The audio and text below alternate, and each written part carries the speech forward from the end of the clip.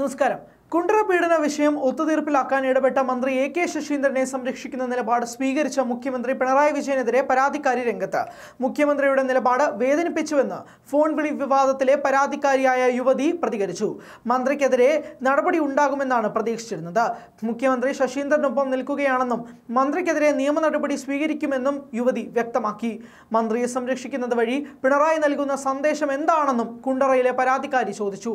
ശശീന്ദ്രനെതിരെ നിയമ നടപടി ആലോചിക്കുന്നുണ്ടെന്നും പരാതിക്കാരി പറഞ്ഞു. രാവിലെ ശശീന്ദ്രൻ ക്ലിഫ് ഹൗസിൽ മുഖ്യമന്ത്രിയെ കാണാനെത്തിയത് അഭ്യൂഹങ്ങൾ കൂട്ടിയെങ്കിലും പിണറായി രാജി ആവശ്യപ്പെട്ടില്ല.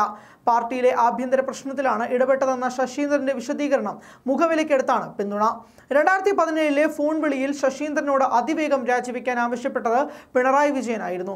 കൊല്ലത്തെ പാർട്ടിയിലെ പ്രശ്നങ്ങളുടെ തുടർച്ചയാണ് വിവാദമെന്ന വിശദീകരണം മുഖ്യമന്ത്രിയും സി ഇപ്പോൾ കണക്കിൽ എടുത്തിരിക്കുന്നത്. പ്രശ്നം മുൻകൂട്ടി അറിയിക്കാതിരിക്കുന്നതിലും ഫോൺ വിളിയിലും മന്ത്രിക്ക് ജാഗ്രത കുറവുണ്ടായെന്ന് പറയുമ്പോഴും രാജി ആവശ്യം N C P president P C ചാക്കോയും തള്ളി. ഗൗരവമേറിയ പ്രശ്നത്തിൽ പരാതിക്കാരെ സംശയത്തിന്റെ നിഴലിൽ നിർത്തിയാണ് മന്ത്രിക്കുള്ള പാർട്ടി പിന്തുണ. അതേസമയം ഫോൺ വിളി വിവാദത്തിൽ പരിശോധിച്ച ശേഷം പ്രതികരിക്കാമെന്ന് സി പി എം സംസ്ഥാന സെക്രട്ടറി എ വിജയരാഘവൻ പറഞ്ഞു. ശശീന്ദ്രനെതിരായ ആരോപണങ്ങൾ പാർട്ടി വിശദമായി ചർച്ച ചെയ്തില്ല എന്നും വിഷയത്തിൽ മാധ്യമങ്ങളിലൂടെയുള്ള വിവരങ്ങൾ മാത്രമേ അറിഞ്ഞുവെന്നും അദ്ദേഹം പറഞ്ഞു.